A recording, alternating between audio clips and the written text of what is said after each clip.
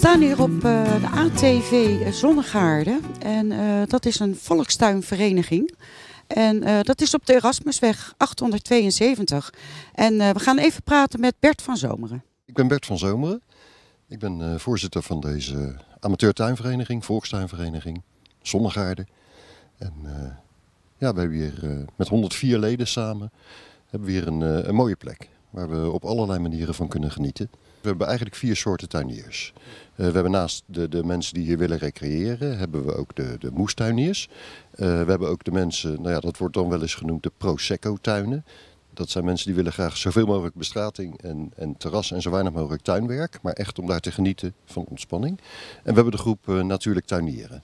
En natuurlijk tuinieren, dat is een manier van tuinieren waarbij je de natuur zoveel mogelijk zijn gang laat gaan maar het wel probeert enigszins te sturen. Uh, sinds een half jaar is er wat, uh, wat onrust op de tuin. Namelijk de gemeente heeft het voornemen om uh, een fietspad hier over ons complex te leggen. Over een, een van de randen van het complex. om een nieuwbouwwoonwijk te gaan ontsluiten voor langzaam verkeer naar de laanverwateringsveld toe. Een van de grootste problemen is de locatie waar dat pad moet gaan komen. Dat loopt over de achterrand van het terrein heen. Dat heeft als uh, gevolg dat een aantal tuinen moeten verdwijnen, een aantal tuinhuisjes. Uh, als we de maatvoering uit de originele plannen bekijken, zijn het er minimaal 11. Uh, eh, en dat is veel. Dat is 10% van het totaal. maar het grootste probleem is dat de zone waar dat pad gaat lopen, is nu ecologisch hoogwaardig. Ja. Dat is heel divers. we hebben daar vier imkers met een grote bijenweide. We hebben daar een vlindertuin, we hebben een uh, vogelrustgebied. We hebben heel diverse planten, struiken, bloemen, bomen. Um, en dat pad gaat dan dwars over de tuinen van twee van onze voortrekkers van natuurlijk tuinieren.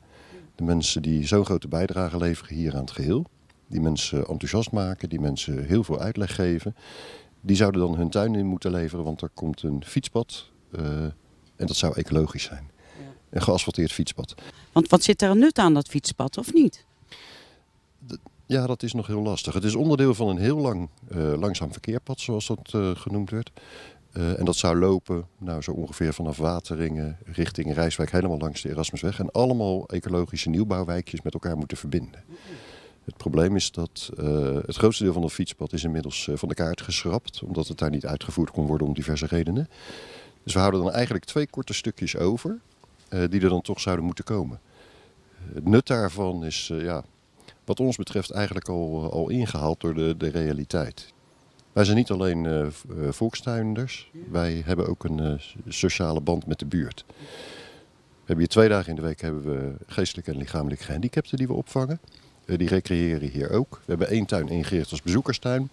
Daar komen mensen uit verzorgingshuizen in de buurt, die komen hier wandelen, die komen hier koffie drinken, die zitten daar te ontspannen. En ook die tuin zou moeten verdwijnen voor het fietspad. En ja, we vinden dat gewoon heel erg jammer. Uh, wij willen graag meedenken met de gemeente. We willen nergens dwars voor gaan liggen. Is sowieso zinloos, want de gemeente is eigenaar van de grond. Dus die, die, die mag hem gebruiken uh, zoals zij denken dat nodig is. Ja, wij zijn aan het overdenken of we alternatieven kunnen bieden. Er staan bomen van 50 jaar oud. Als je dat allemaal weg gaat halen en je gaat er een asfaltpad voor in de, in de plaats leggen, dan heb ik als niet-ecoloog daar moeite mee. Maar, maar zeker de tuinleden die er wel verstand van hebben, die zeggen van waarom? Wij zijn helaas ook geen gesprekspartner voor de gemeente. De grond wordt verhuurd aan de Haagse Bond van tuinverenigingen. En die verhuurt het weer aan ons. Dus de Haagse Bond is hier een gesprekspartner. En die doen aan onze belangenbehartiging.